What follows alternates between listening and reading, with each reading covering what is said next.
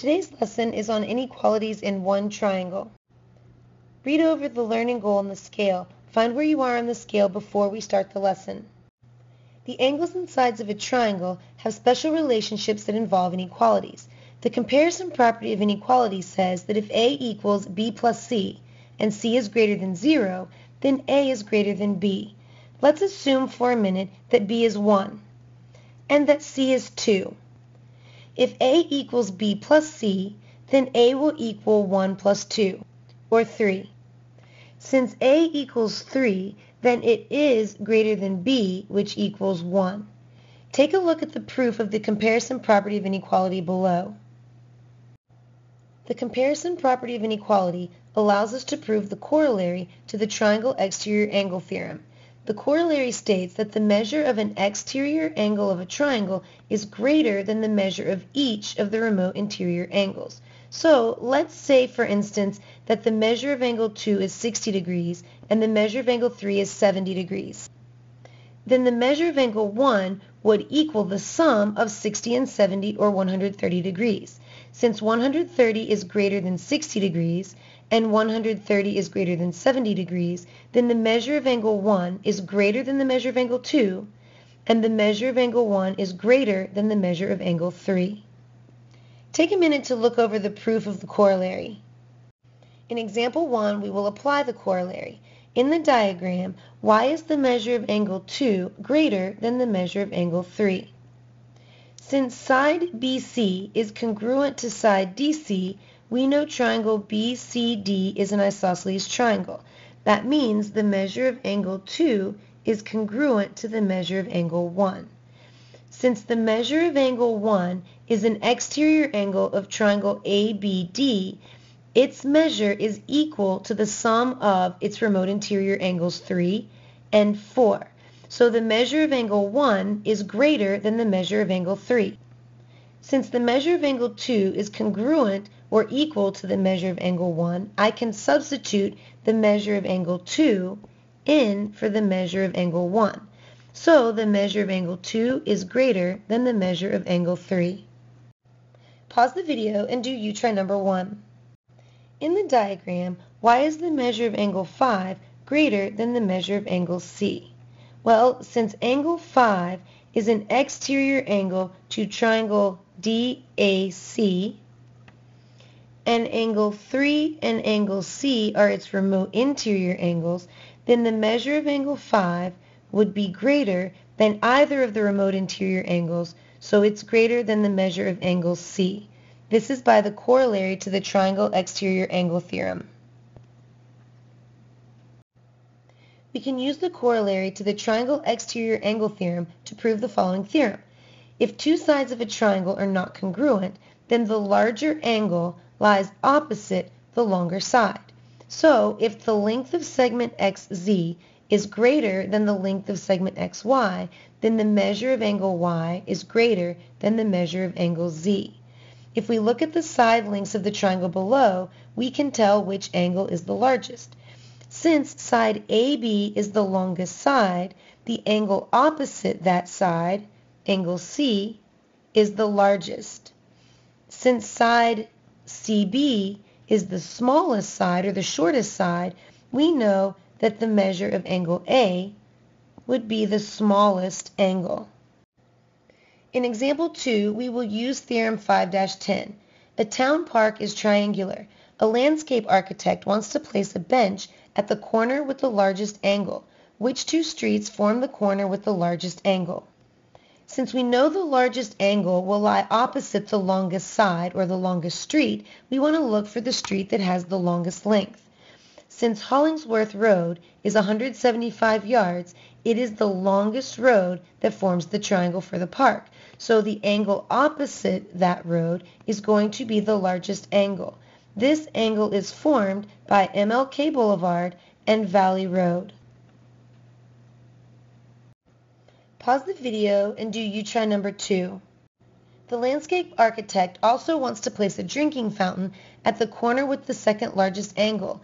Which two streets form the corner with the second largest angle? We know the second largest angle will be opposite the second longest side. Since Valley Road is 120 yards, which is shorter than Hollingsworth Road but longer than MLK Boulevard, Valley Road will be opposite the corner with the second largest angle. So this angle, the angle formed by MLK Boulevard and Hollingsworth Road, will be the second largest angle. For Theorem 511, if two angles of a triangle are not congruent, then the longer side lies opposite the larger angle. So if the measure of angle A is greater than the measure of angle B, then side BC will be longer than side AC. In order to prove this theorem, we need to use indirect reasoning. Take a minute to look over the proof of Theorem 511. In example 3, we will use Theorem 511. We want to put the sides of triangle TUV in order from shortest to longest. We know that the shortest side will lie opposite the smallest angle and that the longest side will lie opposite the largest angle. The problem is we are given two angle measures but not the third. So angle T might be the largest or the smallest angle. Let's find out by using the triangle angle sum theorem. So the measure of angle T plus 120 will equal 180. Use the subtraction property of equality and the measure of angle T will equal 60. Since we're putting our sides in order from shortest to longest, we want to find the smallest angle. Since angle U is the smallest angle, side TV, the side opposite angle U, will be the shortest side. The next smallest angle is angle T, which is 60 degrees, so the side opposite angle T would be t side UV. Since the largest angle is angle V with 62 degrees, the side opposite angle V, side TU, would be the longest side. So we've put our sides in order from shortest to longest in triangle TUV. Pause the video and do U try number 3. In triangle SOX, the measure of angle S is 24 and the measure of angle O is 130. Which side of triangle SOX is the shortest side? Explain your reasoning. Let's start by finding the measure of angle X by using the triangle angle sum theorem. Now that we know the measure of angle X is 26 degrees, we can see that the smallest angle is angle S. So the side shortest in triangle SOX would be the side opposite angle S or side OX. For three segments to form a triangle, their lengths must be related in a certain way. Notice that only one of these sets of segments form a triangle. Can you figure out why the sides in the second figure do not form a triangle? Can you figure out the relationship between the length of a triangle's sides? The triangle inequality theorem explains that the sum of the lengths of any two sides of a triangle must be greater than the length of the third side. So the length of segment xy plus the length of segment yz must be longer than the length of segment xz, or like this triangle, the two sides here won't meet. The same thing is true for the sum of the length of segment yx and xz. They must be longer together than the length of segment YZ. Also, the length of segment XZ and the length of segment ZY must have a sum greater than the length of segment YX. In example 4, we will use the triangle inequality theorem. Can a triangle have sides with the given lengths? Explain. Let's start by looking at the three possible lengths of the side of the triangle. In order to save us some work, let's look at this logically. Since I need any two sides to be longer than the third, I know that 8 is the longest side of 3, 7, and 8. Since 8 is already longer than 3, anything I add to 8, 7, is going to be longer than 3. Since 8 is already longer than 7, then anything I add to 8 will still be longer than 7. So let's add the two shorter sides. If they are longer than the longest side, then our triangle will work. Since 3 plus 7 is 10, and 10 is greater than 8, then yes, these three sides will form a triangle. Now let's take a look at part B. Since our three possible side lengths are 5 feet, 10 feet, and 15 feet, we want to add the shorter two sides and see if they have a length that is greater than the longest side. Since 5 plus 10 equals 15, and 15 is not greater than 15, it is equal to, then no, these three will not form a triangle. Pause the video and do you try number 4. Can a triangle have sides with the given lengths? Explain. In part A, since 2 meters and 6 meters are shorter, let's add these two to see if they have a sum that is longer than 9 meters. Since 2 plus 6 equals 8, and 8 is not greater than 9, then no, 6, 2, and 9 cannot be the lengths of the sides of a triangle. In part B, our side lengths are 4, 6, and 9.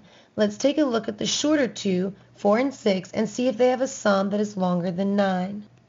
Since 4 plus 6 equals 10, and 10 is greater than 9, yes, these three sides can form a triangle. In example 5, we will find possible side lengths. For a town's playground, we have two sides of what will be a triangular sandbox. What is the range of possible lengths for the third side? We know that any two sides of a triangle must have a sum that is longer than that third side. So we know that if we add 8 plus 5, it must be longer than the third side. Since 8 plus 5 is 13, 13 is the highest number of our range, so x must be less than 13. We also know that if 5 plus our missing side has to have a sum greater than 8. So let's subtract 5 from 8 to find the low end of our range. Since 8 minus 5 is 3, we know that 3 has to be less than x, or the length of our third side. So we know that our third side must be less than 13, but greater than 3. So let's rewrite our inequality like this. 3 is less than x, but x is less than 13. Pause the video and do you try number 5.